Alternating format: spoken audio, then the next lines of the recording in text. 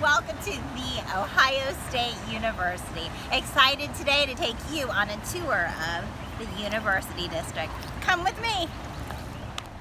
So we'll start by defining the University District. That would be north of the Short North area, south of Clintonville, and snuggled between 315 and 71. Of course, home to the Ohio State University Buckeyes as you're heading around campus, you might want to walk on foot. You may take a bicycle or use the popular scooters, which are found almost everywhere. You would stop at Campus Traditions, pick up your Buckeye gear, and let's go for a tour around campus.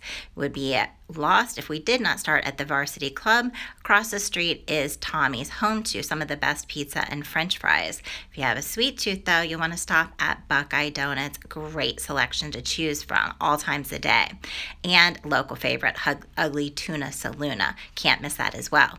All of these will prepare you for the many Buckeye opportunities, whether it's basketball, hockey, or staying in the area at the regional uh, popular Schottenstein, which is home to many different venue uh, events.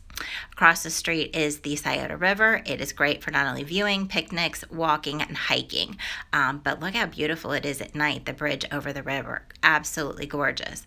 All of this, though, would be remiss if we didn't talk about an Ohio State Buckeye football game, but stay in your seats at halftime so you can grab grab the best pictures of the best damn band in the land. Of course, Brutus is not only there, but he's actually all around campus. Did you know there are over 30 Brutus Buckeye full size throughout campus? This one is my favorite. It's on the side of the ROTC building.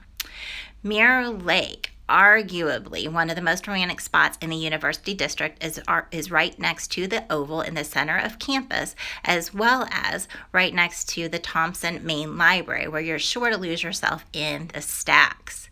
As we head toward High Street, you'll see enjoy the hustle and bustle of the Ohio State Union, which is home to Sloopy's Diner. Love that 1950s theme. This is across the street or in the area of the fraternity and sorority row, so always lots of fun.